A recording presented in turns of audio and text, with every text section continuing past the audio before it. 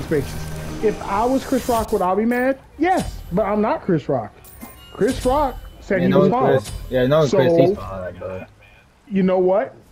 It should be done with. No one. It, it shouldn't even matter anymore. yeah, knowing Chris, like Chris, just seems like that guy that just don't. He he wouldn't care about any of that. He, like he, he just wants love. He looks like a dude that just wants, wants love. He, yeah, I think I know he didn't mean for for it to hurt anybody like that.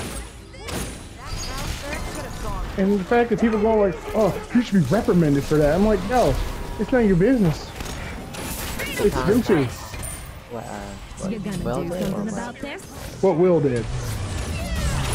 Yeah, like he's rep- Side, but Stand it's, a chance. Exemplify the more or of us less the act that he could have taken instead of like going up there and hitting him. yeah. He could have like shouted something or said it after. That is true. He didn't That is true. on on stage. And I will also say this.